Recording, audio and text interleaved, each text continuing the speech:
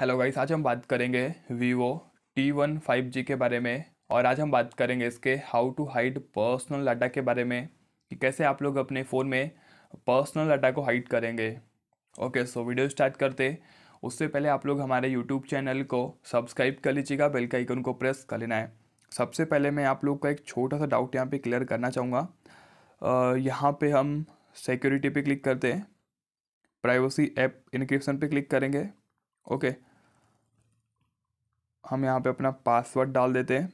तो देखिए, पहले के वीवो के फ़ोनों में क्या हुआ करता था कि यहाँ पे हमें जो अपना डाटा रहता है प्राइवेट डाटा जो रहता है, उसको हम हाइड कर सकते थे। ओके जो भी आप लोग को डाटा हाइड करना है, आप उसको प्राइवेट कर सकते थे बट अभी जो है ये फीचर हमें देखने को नहीं मिलता है। ओके तो इसके लिए हम यूज़ करेंगे एक अल्टरनेटिव तरीका जिसमें हम मदद लेंगे गूगल फाइल्स का। ओके डिफ़ॉल्ट तरीका ही हम इसको बोलेंगे, क्योंकि डिफ़ॉल्ट में ही आप लोग गूगल फाइल्स देखने को मिलता है प्री स्टॉल ऐप है। ओके तो हम सिंपली गूगल फाइल्स को ओपन करेंगे। ब्राउज पे क्लिक करेंगे इसके और हम क्लिक करेंगे इसके सेव फोल्डर पे।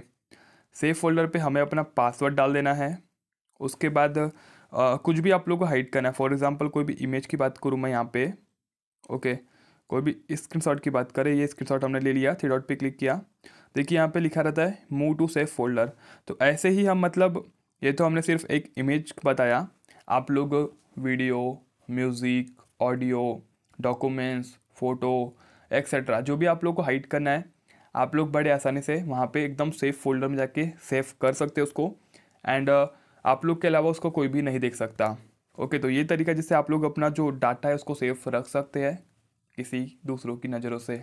ओके। आई होप आप लोग को वीडियो अच्छी लगी होगी। जय माता दी।